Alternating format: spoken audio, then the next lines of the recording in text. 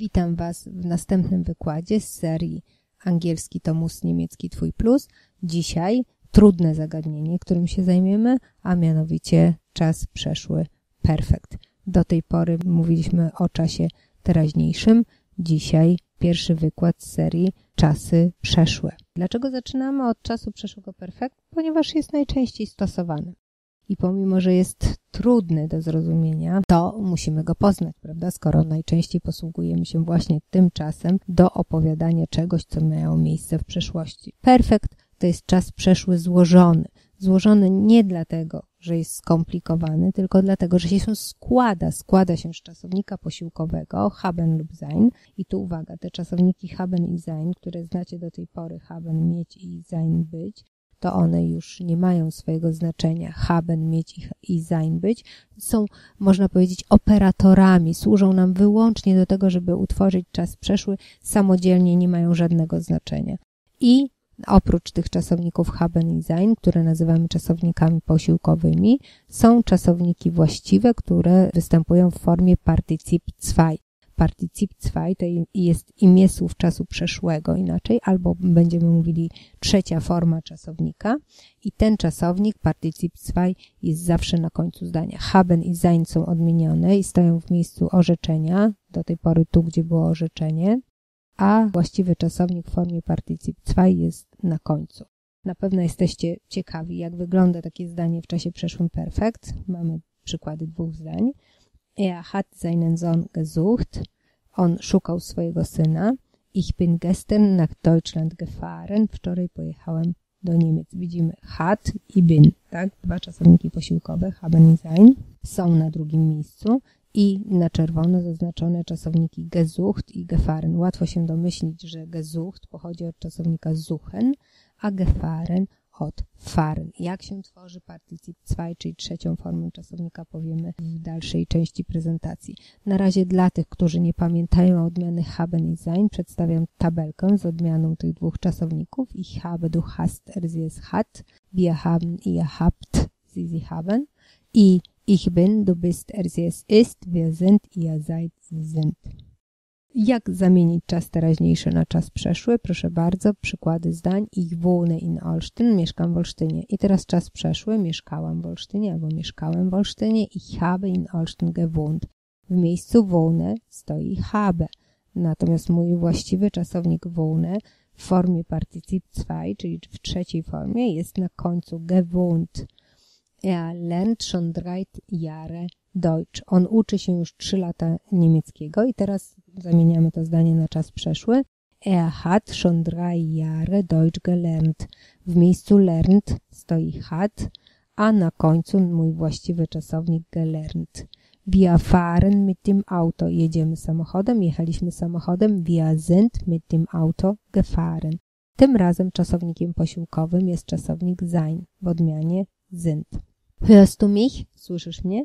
I tym razem mój czasownik posiłkowy znajdzie się na pierwszym miejscu. Hast du mich gehört? I tylko właśnie w pytaniach o rozstrzygnięcie mój czasownik posiłkowy, w tym wypadku haben, znajduje się na pierwszej pozycji w zdaniu. W pozostałych przypadkach zawsze na drugiej logicznej pozycji. Skoro używaliśmy czasownika raz czasownika haben, innym razem czasownika sein jako operatorów do tworzenia czasu przeszłego perfekt, zastanówmy się teraz, jakie są zasady. Kiedy stosujemy sein, a kiedy haben. Na pewno zauważyliście, że częściej stosujemy haben. Tak, to prawda, to nie, jest, nie są przypadkowo dobrane zdania. Częściej stosujemy haben, rzadziej sein. Czasownika sein użyjemy w trzech e, określonych sytuacjach. Po pierwsze, jeżeli nasz czasownik oznacza ruch, czyli do wszystkich czasowników, które oznaczają przemieszczanie się z miejsca na miejsce. Gehen, fahren, schwimmen, iść, jechać, pływać. Żeby iść, jechać i pływać, trzeba się na pewno przemieścić z miejsca na miejsce. Wówczas używamy czasownika posiłkowego sein. Er ist nach Frankreich gefahren. Gestern bin ich zum Arzt gegangen. Za każdym razem mamy ruch i czasownik posiłkowy sein, odmieniony, dopasowany do osoby, do podmiotu. Czasowniki oznaczające zmianę stanu. Zmiana stanu to czasowniki, które mówią nam o tym, że nasz podmiot, nasz rzeczownik zmienia w jakiś sposób swój stan.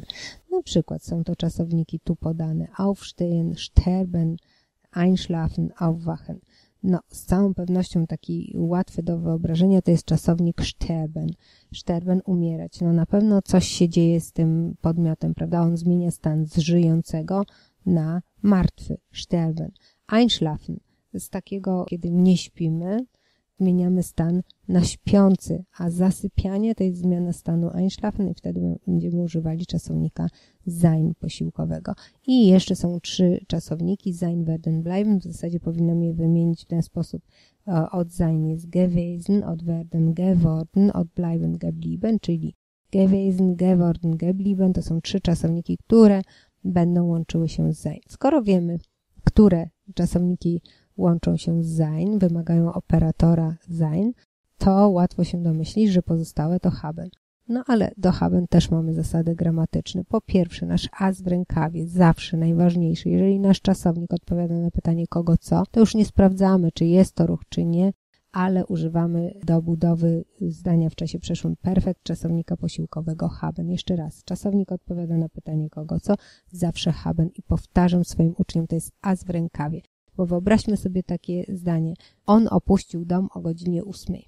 Jest to zdanie w czasie przeszłym, prawda? Opuścił. Żeby opuścić, trzeba się przemieścić z miejsca na miejsce. Ale opuścił kogo co? Dom. I wygrywa nasz as, as w rękawie, czyli pytanie kogo co. W tym wypadku użyjemy czasownika posiłkowego haben. Ponadto czasowniki zwrotne, czyli te wszystkie, które będą miały w odmianie mich, dich, uns, euch i sich. Czasowniki nieosobowe, ja je nazywam często pogodowe, ponieważ dotyczą zwykle pogody nieosobowe, bo się nie odmieniają przez osoby. Es hat geweht, wiało, es hat geregnet, padało, es hat geblitzt, błyskało. Czasowniki modalne. Wszystkie modalne też tworzą perfekt haben, chociaż tworzą go rzadko. Częściej modalne używamy w innym czasie przeszłym. On się nazywa preteritum i czasowniki, które nie pasują do żadnej z grupy. Ja je nazywam śmietnik. No, obrazowa nazwa śmietnik, znacznie łatwiej ją zapamiętać, prawda? Gdybyśmy wzięli takie czasowniki, to mamy trzy przykłady. Denken, Schlafen, Arbeiten i przeanalizowali je pod kątem wszystkich tych grup, to okazałoby się, że nigdzie nie pasują. A skoro nie pasują nigdzie, no to trzeba je wrzucić do śmietnika i połączyć z Haben. Nie jest to czasownik ruchu, przypominam, prawda? Denken, myśleć. Nie ruszamy się w czasie myślenia. Nie jest to czasownik zmiany stanu. Jak myślimy, to nasz stan się nie zmienia, cały czas myślimy i nie jest to jeden z trzech czasowników, które wymieniliśmy sein. Nie jest to również czasownik, który odpowiada na pytanie kogo co, nie jest zwrotny, nie mówimy myśleć się. Nie jest czasownikiem nieosobowym, odmienia się przez osoby, prawda, i ich denke, du denkst i tak dalej i nie jest czasownikiem modalnym. Skoro nie pasuje do żadnej grupy, to jeszcze raz powtarzam, wsadzamy go do śmietnika i łączymy z haben. Wiemy już, że czasowniki posiłkowe stoją na drugiej logicznej pozycji, są odmienione. Wiemy, kiedy używamy haben, kiedy używamy sein, natomiast jeszcze nic nie powiedzieliśmy na temat partycyp 2, czyli na temat trzeciej formy czasownika, inaczej imię słowu czasu przeszłego. Partycyp 2 stoi zawsze na końcu zdania. Tyle wiemy. Jak zbudować? Widzieliśmy gefahren, gemacht, no ale co jest co, jak to powstało, skąd? Jeszcze żadnej wiedzy na ten temat nie mamy. Otóż musimy czasowniki podzielić na regularne i nieregularne. Jeśli chodzi o regularne, to formy sobie utworzymy sami. Bierzemy sobie taki czasownik, na przykład machen, bezokolicznik, tak, robić. Najpierw musimy oddzielić końcówkę. Zostaje nam mach. Mach to jest temat czasownika. Do tematu czasownika na początku dodaję przedrostek ge, a na końcu dodaję końcówkę ty i wychodzi nam gemacht. Czasami do, w takich sytuacjach, kiedy tworzę sobie partycyp zwei czasowników regularnych, będę miała końcówkę ety. Kiedy ta końcówka ety jest, to zaraz powiem. Mamy inne przykłady. Fragen, gefragt. Reden, geredet. Kaufen, gekauft. Antworten, geantwortet. Tłumaczone są wszystkie te przykłady, prawda? Pytać, mówić, kupować, odpowiadać i wiele innych czasowników w ten sposób tworzy partycyp zwei. Leben to będzie jak? No spróbuj. No oczywiście masz rację. Gelebt i tak dalej. Zatrzymaj prezentację. Powiedz sam, a ja ci zaraz udzielę odpowiedzi, jak powinno być. Leben gelebt, wohnen gewohnt, kochen gekocht, legen kłaść. Gelegt, lernen, uczyć się gelernt, lieben, kochać, geliebt, suchen, szukać, gesucht. Wohnen to mieszkać, leben to żyć i kochen to gotować, jeśli chodzi o tłumaczenie tych przykładów. Skoro wiesz, jak zbudować formę partycyp 2 do czasowników regularnych, to teraz no, samemu sobie nie zbudujemy niestety do czasowników nieregularnych. Tych czasowników trzeba się uczyć na pamięć. I mamy schlafen, geschlafen, schreiben, geschrieben, bleiben, geblieben, trinken, getrunken, gewinnen, gewonnen. Jak widzimy, większość tych czasowników, to akurat są przykłady, że mają wszystkie en i głównie po tym będziemy poznawać, że rzeczywiście jeżeli czasownik będzie miał na końcu en, to na mur beton na pewno, z całą pewnością będzie to czasownik nieregularny. Chociaż łatwo go rozszyfrować, bo jeżeli mamy geschlafen albo gefaren, to wiemy, że to jest od szlafen albo do, od faren. To nie budzi żadnych wątpliwości. Wydaje się być czasownik regularny. On regularny nie jest. Musimy się go uczyć na pamięć. Natomiast w czasownikach nieregularnych bardzo często występuje zmiana samogłoski rdzennej. Zobaczcie, w Schreiben jest w środku EI, a później w Partizip 2 geschrieben, od, odwrócone głoski, prawda? To samo w bleiben, geblieben, trinken, getrunken. Jest wiele innych y, przykładów. Na przykład, kto by pomyślał, że mm, od sein, forma czasu przeszłego, Partizip 2 jest gewesen. Domyśliłby się ktoś? Na pewno nie. Niektóre właśnie czasowniki brzmią zupełnie inaczej, trudno je nawet skojarzyć z formą podstawową.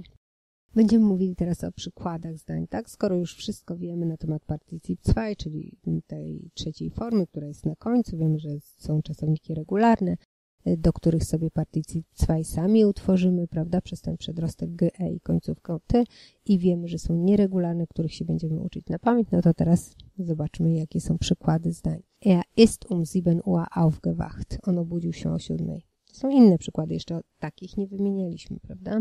Habt ihr schon euer Zimmer aufgeräumt? Czy już sprzątnęliście y, swój pokój? Sie ist erst um Mitternacht zurückgekommen. Ona wróciła dopiero o północy. Hmm. I co ciekawego, do tej pory mówiliśmy, że GE jest na początku wyrazu, a tu się okazuje, że jest w środku. Otóż w czasownikach rozdzielnie złożonych przedrostek GE właśnie wejdzie między przedrostek a czasownik główny, czyli będzie pisany w środku i tak też wymawiany, prawda? Dotyczy to, jeszcze raz powiem, czasowników rozdzielnie złożonych, że GE wejdzie między przedrostek a czasownik główny. E, inne przykłady. Mein Vater hat Volleyball trainiert. Was ist hier passiert? Meine Mutter hat uns eine lustige Geschichte erzählt. Habt ihr mich verstanden? Was habt ihr bemerkt? No właśnie, co zauważyliście? Zauważyliście z całą pewnością, że we wszystkich tych przykładach nigdzie nie ma GE. A mówiliśmy, że GE wszędzie występuje, prawda? Mamy trainiert, nie ma GE. Passiert, nie ma GE. Erzählt, verstanden, bemerkt. Hm. W takim razie zadajemy sobie pytanie, kiedy tego GE nie będzie, a może te zdania są źle napisane. No nie są źle, wiadomo, że nie są. Otóż, jeżeli nasze czasowniki będą się kończyły na iren, produciren, studiren, fotografiren, mam przykład jeszcze trainiren, wówczas będzie czas przeszły. Produziert, studiert, trainiert, fotografiert. Tak? Nie ma GE. Oraz wszystkie czasowniki nierozdzielnie złożone, one się zaczynają od takich przedrostków, które tu są wymienione. R, B, G, N, Twer, Cer, M. Jest trochę więcej tych przedrostków, ale najważniejsze, które musicie zapamiętać to R, B, G, Fer. To są takie najczęstsze przykłady, najczęściej występujące czasowniki. Podsumowanie. Perfekt czas przeszły złożony. Złożony, bo się składa z czasownika posiłkowego haben lub sein, odmienionego na drugiej pozycji w zdaniu, i partycyp 2, czyli trzeciej formy czasownika. Dowiedzieliśmy się z tej prezentacji, kiedy używamy haben i kiedy używamy sein.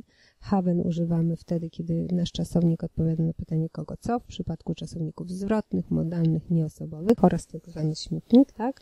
A sein używamy do czasowników ruchu, zmiany stanu i trzech, trzech czasowników od werden, geworden, od sein, gewesen, od bleiben, geblieben i partycyp 2, jeśli chodzi o czasowniki regularne, to sobie sami zbudujemy, dodajemy na początku g, e i na końcu ty albo e, ty, a w przypadku czasowników nieregularnych musimy się uczyć ich na pamięć. Jeszcze raz powtórka, jeżeli mamy czasowniki nierozdzielnie złożone i czasowniki zakończone na iren, to nie będą miały przedrostka ge. Dziękuję za uwagę. Ponieważ perfekt jest bardzo trudnym czasem na początku nauki, zapraszam do rozwiązywania ćwiczeń na stronie niemiecki.co. Z całą pewnością za pierwszym razem, od razu, nie nauczycie się całości wszystkiego, ale im więcej ćwiczeń, im więcej powtórzeń, tym większa szansa na to, że będziecie rozumieli czas przeszły perfekt, że będziecie go dobrze stosować. Dziękuję za uwagę, powodzenia w rozwiązywaniu ćwiczeń i dobrej zabawy przy nauce języka niemieckiego.